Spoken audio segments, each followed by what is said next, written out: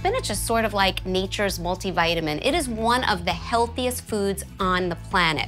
You take a 10 ounce frozen chopped box, cook it in the microwave according to the package directions, drain off some of the water. Our second star ingredient, artichoke hearts, it's a 14 ounce can or jar that I rinsed and drained, and we're gonna chop it up. What I love about artichokes, a lot of people don't realize that they are busting with fiber. We're also gonna chop two scallions. And now you're ready to assemble the dip. We're gonna start with light mayonnaise, three quarters cup. A half cup of Parmesan cheese.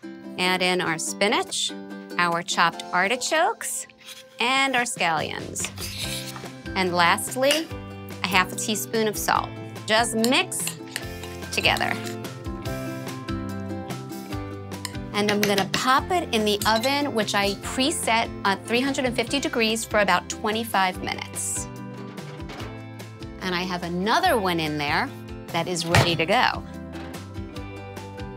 Mmm, it smells amazing. So let's remember that the original is about 300 calories before you consider the chips. My version, just 50 calories. It's rich, it's creamy, it's cheesy. It tastes just like the classic, and now you can eat it whenever you want and feel really good.